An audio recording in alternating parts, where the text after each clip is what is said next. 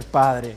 ¿Cómo han cambiado las paternidades en el último tiempo? Vamos a hablar con una especialista, Silvia. Claro, vamos a hablar con una psicóloga, porque no solamente es un día para regalar, un regalo que nunca de manera, viene mal, ¿eh? Nunca, estaba mal. De manera física, sino también es un día para demostrar los afectos, qué rol cumplen los padres en la vida de cada uno, ¿no? Por eso vamos a tomar contacto. Hola María Bruno, ¿cómo andás? Buen día.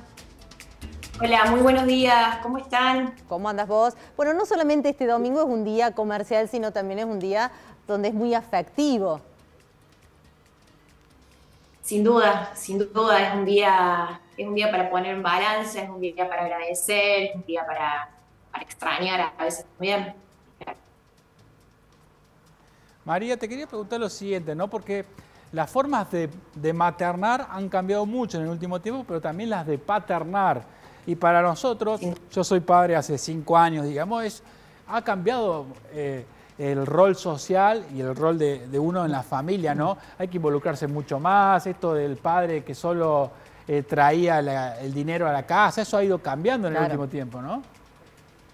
Absolutamente, ese creo que es el, gran desafío de, bueno, de ser familia en, esto, en, estos últimos, en estos últimos años. Tiene que ver con, una deconstrucción de roles que a lo largo de, las, últimos, las últimas muchas décadas ha estado, como, como vos decís, Andrés, asociado a la paternidad, a, la autoridad y a, la, y a, ser proveedor, y la maternidad más asociado a, la afectividad, a la contención y, no más que eso. Eh, en estos últimos años se ha, bueno, e, e, esos, esos roles eh, quizás tan rígidos se han ido flexibilizando un montón y hoy la crianza eh, bueno, está, está, sumamente compartida y, esos roles en, dinámicas familiares saludables eh, y más flexibles eh, son compartidos.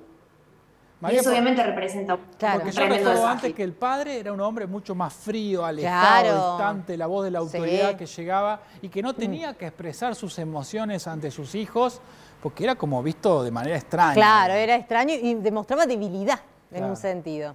Absolutamente, sí, claro, claro que sí. Muchas veces cuando, bueno, en, el consultorio se trabaja con cuestiones que tienen que ver con la inteligencia emocional, por ejemplo, se trabaja mucho eso, que muchos, digamos, personas que son padres en este momento han sido, porque a ver, los, papás, eh, gran parte de, la forma de ser padre viene de la manera en la que fueron padres con nosotros primero. Claro. Entonces, muchas veces en cuestiones que tienen que ver con, con la inteligencia emocional, quienes han sido hijos de, de ese tipo de, de, personas eh, afectivamente distantes, la autoridad asociada a la fortaleza eh, y a no conectar con las emociones y demás, bueno, es, es, un, es un, desafío aprender eh, esto, a que se puede representar autoridad de, a través de la ternura y se pueden poner límites también con amor y con ternura, no con tanta distancia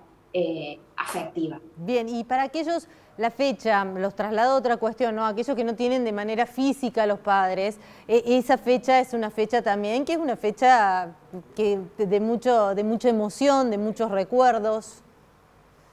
Sin duda, sí, bueno, eh, es una fecha que se vive más o menos en paz en función de, bueno, del momento del duelo que, la, que se esté atravesando. Yo creo que, bueno, eh, quizás en, los, primeros estadios de los duelos es, difícil conectar con esto y predominan emociones que tienen que ver con, con, la tristeza, con el enojo y demás, pero cuando, cuando el duelo se va